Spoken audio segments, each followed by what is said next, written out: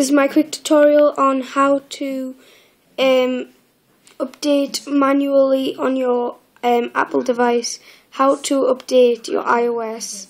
Now there isn't a new iOS out right now, but I will show you the, how to check. Now you go into the settings and you click General. Then here, second along the top is Software Update. Click that, and then it checks, scans for an update.